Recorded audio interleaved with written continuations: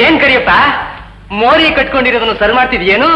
Sir ಮಾಡ್ತಾ ಇವನಿ ನಿಮ್ಮ ಮನೆ ಗಂಭೀರ ಮಲ ಈ ಕಡೆ ತಪ್ಪಾ ಇಲ್ಲ ಹಾಳು ವಾಸನೆ ಸಹಿಸೋಕ್ ಆಗ್ತಾ ಇಲ್ಲಪ್ಪ. ಹಂಗ ಬನ್ನಿ ಮತ್ತೆ.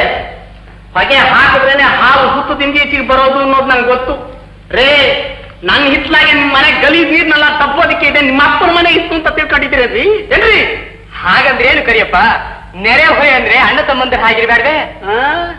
ಗೌಡ್ರು ನಂಗೆ ಬಹಿಷ್ಕಾರ ಹಾಕುವಾಗ ನಿಮ್ ಕಣ್ಣಿಗೆ ನಾವೆಲ್ಲ ಅಣ್ಣ ತಮ್ಮಂದ್ರಂಗ್ ಕಾಣಲಿಲ್ಲ, ಅಲ್ಲ? ಕಂಡ್ರು ನಾವು ಅಷ್ಟು ಜನದ ಮುಂದೆ ಏನ್ ಮಾಡಕ್ಕಾಗುತ್ತೆ ಕರಿಯಪ್ಪ? ಬಡವ, ನೀವು ಮಡಗ್ದಾಗಿರು ಅಂತಿರ್ಬೇಡ್ವೆ ಅದು ಅಲ್ಲದೆ ನನಗೂ ಆ ಗೌಡಂಗೂ ಕೊಳ್ಳೆ ಹೋಗೋದು ಅಷ್ಟಲ್ಲೇ ಇದೆ. ನಿನ್ ಹಾಗೆ ನಾನು ಅವ್ರ ಮೇಲೆ ದ್ವೇಷ ಸಾಧಿಸ್ತಾ ಇದ್ದೀನಿ. ಹ್ಞೂ. ಸುಳ್ಳು ಹೇಳಿದ್ರು ನಿಜ ತಲೆ ಮೇಲೆ ನೋಡ್ದಂಗೆ ಹೊರ್ತಾ ಇದ್ದೀರಲ್ರಿ. ರೇ ಭಟ್ರೆ, ನಿಮ್ ಕಂತೇನಲ್ಲ ನನ್ ತಾವು ಬಿಚ್ಚಬೇಡ್ರಿ ದೇವರಾಣಿಗೂ ಹೇಳ್ತೀನಿ ಕರಿಯಪ್ಪ ನೀನೊಂದ್ ಕೊಂಚ ಹೂವನ್ನು ಆ ಗೌಡ ಮನೆ ಗೂಡ್ಸಿ ಸಾರಿಸಿ ರಂಗೋಲಿ ಹಾಕ್ಬಿಡ್ತೀನಿ. ರೇ, ಎಂತ ಮಾತಾಡ್ತೀರಿ? ಅಲ್ರಿ? ಆ ಗೌಡ್ರೆ ಅಲ್ವೇನ್ರಿ ನಿಮ್ಗೆ ಮನೆ, ಭೂಮಿ ಎಲ್ಲಾ ಕೊಟ್ಟು ನೀವು ತಲೆ ಎತ್ಕೊಂಡು ತಿರ್ಗಾಡಂಗ್ ಮಾಡಿದ್ವಿ ಆ? ಅದನ್ನೆಲ್ಲ ಇಲ್ಲ ಅನ್ನೋದಿಲ್ಲ ಕರಿಯಪ್ಪ. ಆದ್ರೆ ಆಮೇಲೆ ಆ ಗೌಡ್ರು ಮಾಡಿದ್ ನೆನೆಸ್ಕೊಂಡ್ರೆ ಆ ಮಾತು ಈಗ ಯಾಕೆ? ನೀನ್ ಕೊಂಚ ಹೂವನ್ನು ಆಮೇಲೆ ಆಗೋದು ನೋಡು. ಅಡ್ಡ ಬಿದ್ದೆ ಬಟ್ರೆ ನಿಮ್ಗೆ ನೀಯಪ್ಪನ ಮನಸ್ಸು ಅಂದ್ರೆ ನೀವೇ. ನಿಮ್ ಸಾವಾಸ ಸಾವಿರ ಸಲ ಕರಿಯಪ್ಪ ಕರಿಯಪ್ಪ ಆ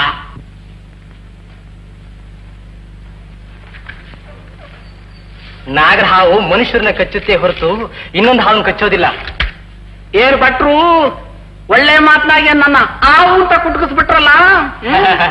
ಹಾಗೆ ನನ್ನ ಹಾವು ಅನ್ಕೊಂಡಲ್ಲಪ್ಪ. ಸಬಾಸ್ ಸಬಾಸ್ ಭಟ್ರೆ ಸಬಾಸ್ ಆ, ಇನ್ ಮ್ಯಾಕ ನಾವು ನೀವು ಒಂದು ಅದೇನ್ ಮಾಡ್ಬೇಕು ಹೇಳಿ. ಕಿವಿ ಕೂಡ ಹೇಳ್ತೀನಿ. ಆ ನಿಮ್ ಬಾಯಿ ತಾಳಕ್ಕೆ ನನ್ ಕಿವಿ ಕೊಡೋಕೆ ಭಯವಾಯ್ತದೆ ಅದೇನ್ ಅಲ್ಲಿಂದಾನೆ ಹೇಳ್ರಿ? ನೋಡು ನಮ್ಮಿಬ್ರು ಉದ್ದೇಶ ಸಾರ್ಥವಾಗಬೇಕಾದ್ರೆ ಕಾಲಿ ಬಿದ್ದ ಹಾಗೆ ಮಾಡಿ ಕಾಲ್ ಕತ್ತರಿಸ್ಬೇಕು. ಆಗ ಆ ತಲೆ ತಾಲಾಗಿ ನನಗೆ ಬೀಳುತ್ತೆ.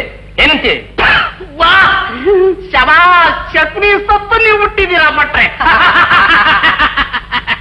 ಮೋರಿ ಆ ಬಿಟ್ಟಾದ್ರ ದಾರಿ